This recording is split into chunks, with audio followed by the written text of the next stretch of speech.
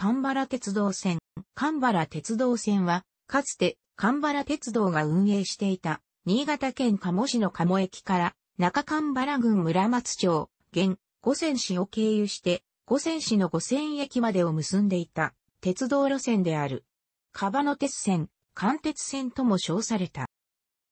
1985年、昭和60年4月に、鴨村松間が廃止となり、村松五線間を結ぶ延長 4.2km の短距離路線として知られていたが、1999年、平成11年10月に全線が廃止された。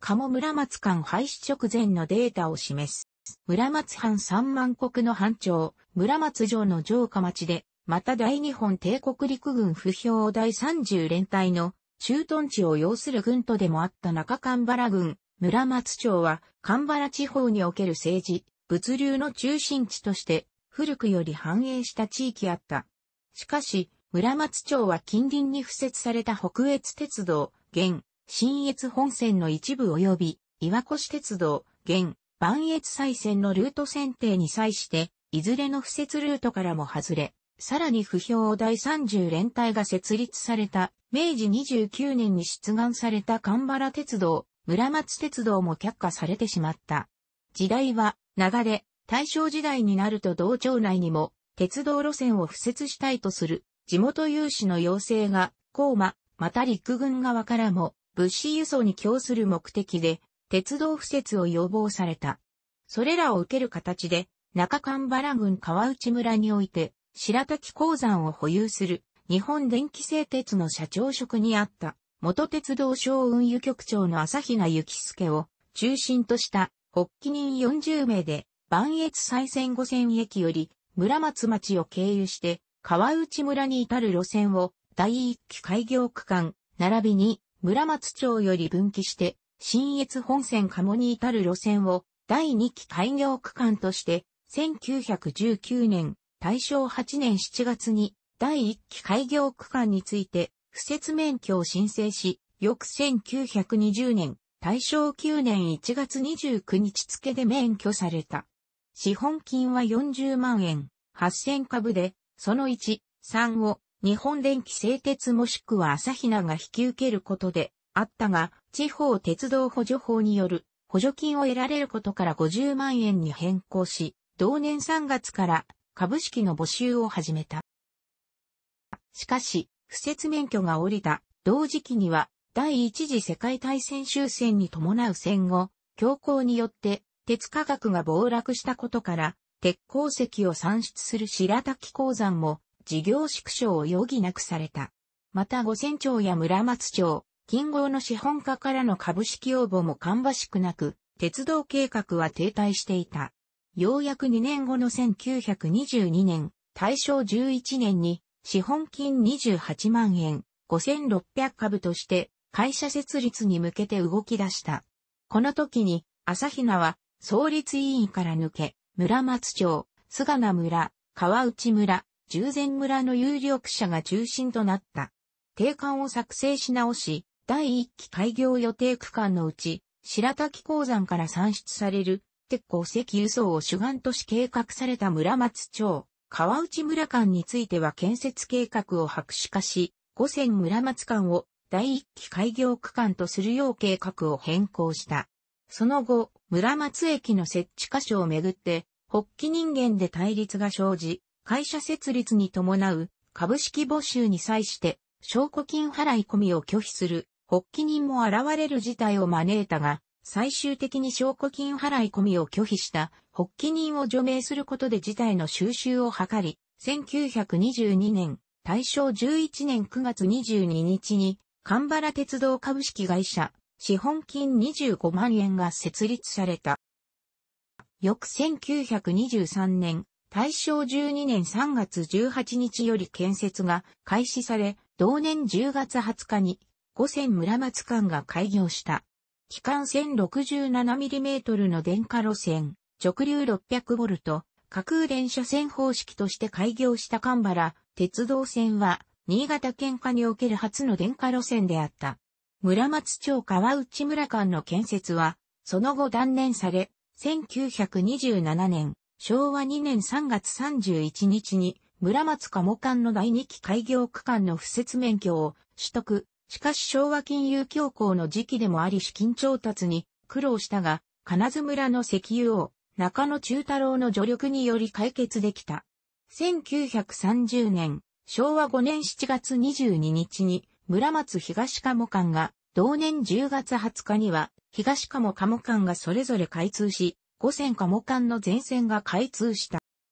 開業当初の停車場は、五線、村松、西村松、大神原、七国、東鴨の6カ所で、西村松を除く5駅はいずれも、列車交換設備を有した。また、鴨駅は、鉄道省の管理駅、停車場であった。その他停留所が、今泉、寺田、高松、土葬、東鳥越、京口、駒岡、神が、峰の8カ所開設され、駅、停車場、停留所の開廃は、路線廃止時以外にお手は行われなかった。貨物列車の商船への受け渡しは、五線駅を介して行われ、神原鉄道線内を発着する貨物、小荷物類は、神原鉄道線、会社線を表す、社の文字を付した社団法人五線発着位で運行された。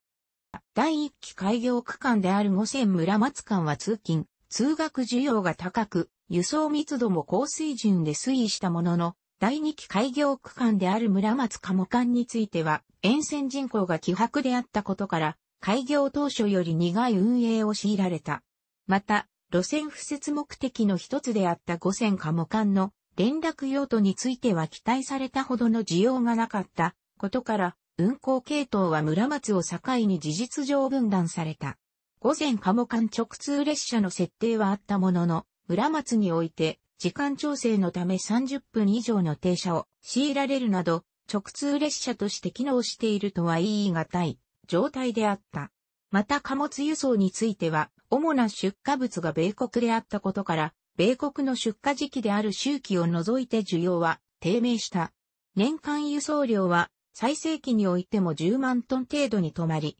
1957年、昭和32年以降定期貨物列車の運用は消滅した。1961年、昭和36年8月当時における運行ダイヤは、五線村松間28往復、村松鴨間14往復で、加えて、東鴨発、村松港の不定期列車が1本設定されていた。所要時分は、五線村松間が8分、標定速度時速 31.5km、村松鴨間 17.7km が42分30秒、標定速度時速 25km であった。その他、不定期の貨物列車が設定されていた。また、神原鉄道線は自然災害とも無縁ではなく、1963年、昭和38年1月の38号節においては、全線が約1ヶ月間にわたって普通となり、また1967年、昭和42年8月の上津豪雨と1969、昭和44年8月の貨物水害の2度にわたって水害に見舞われ、同省流出など前線で甚大な被害を被ったものの、その都度復旧工事が行われた。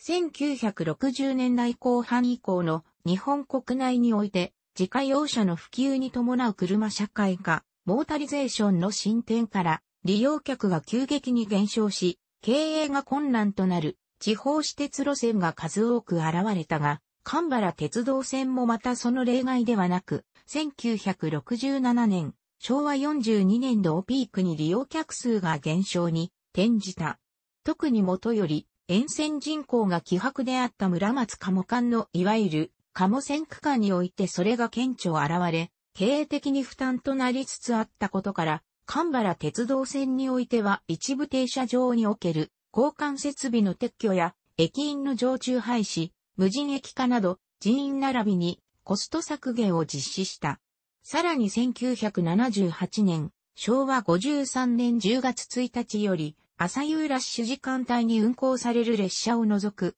全列車について新潟県下の鉄道路線においては、初となるワンマン運転方式を導入するなど、経営合理化に努めた。1978年10月1日からのダイヤでは、全線投資列車のほか、五線村松間に多数の区間列車、早朝に東鴨発、村松港が1本、鴨発五線行の初列車のうち1両を東鴨駅で分割し、分割した車両が後続の東鴨市発村松行の列車となった大神原発五線行が1本、往路の村松大神原間は回送列車、全線通し、運転の貨物列車が2往復設定されていた。列車交換は主に村松、七谷で行われ、朝夕ラッシュ時は大神原でも行われていた。しかし、利用客の減少は止まらず、1981年、昭和56年度における利用者数は、ピーク時の約3割にまで激減した。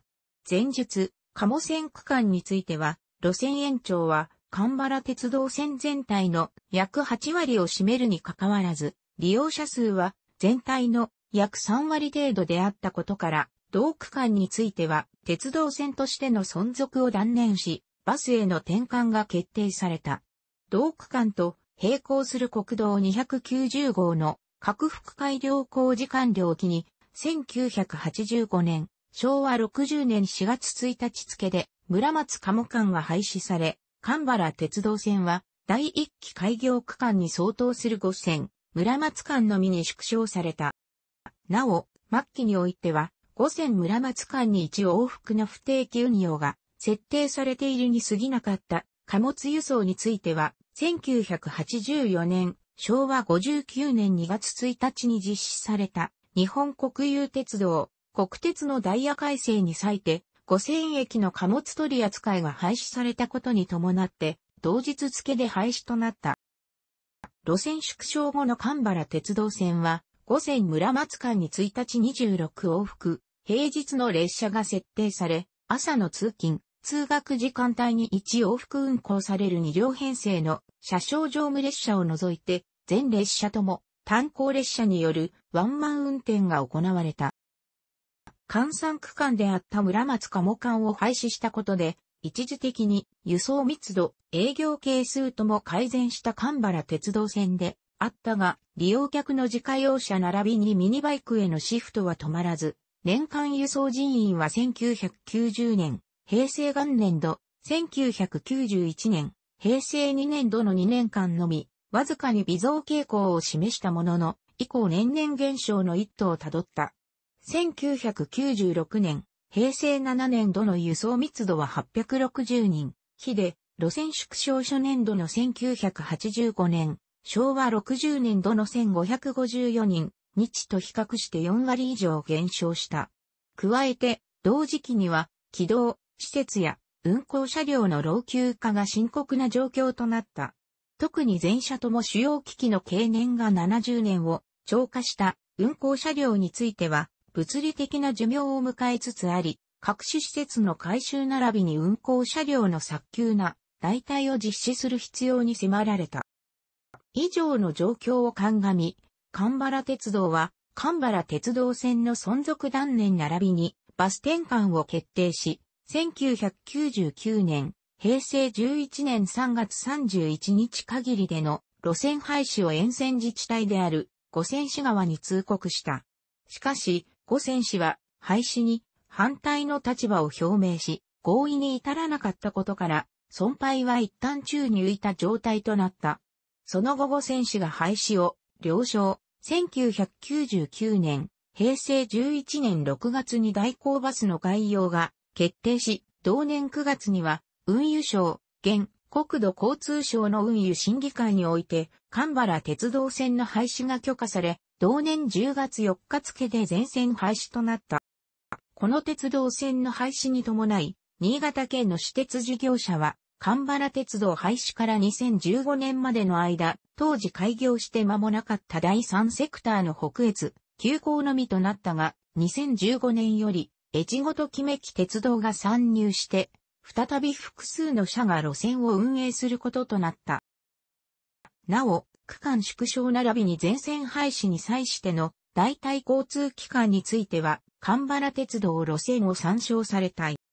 神原鉄道線においては、開業当時に村松を起点に設定した経緯から、五線から村松、鴨方面へ向かう列車を上り、鴨から村松、五線方面へ向かう列車を下りとした。この設定は、鴨村松間が廃止となり、村松五線間に縮小されてからも踏襲され、行き止まり駅の村松を起点とし、万越再線に接続する五線を終点とした点が特徴であった。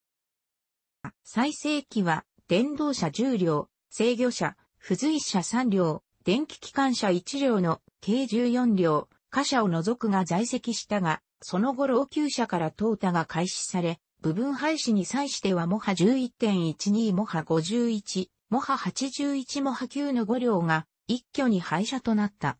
残存したモハ31モハ41モハ61モハ71区波 10ED1 の計6両は全線廃止まで在籍した。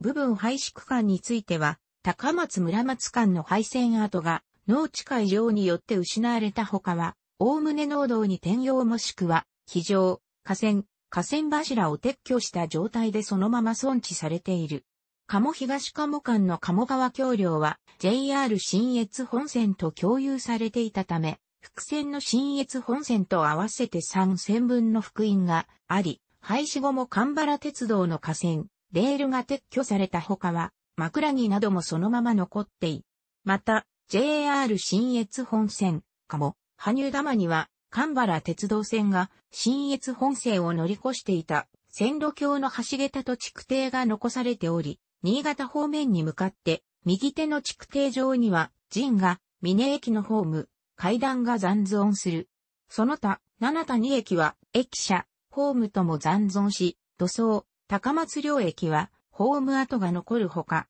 冬鳥越、土層間に存在した土層水道が廃線当時そのままの状態で放置されている。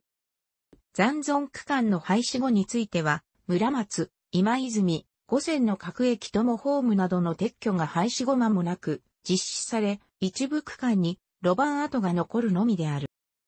楽しくご覧になりましたら、購読と良いです。クリックしてください。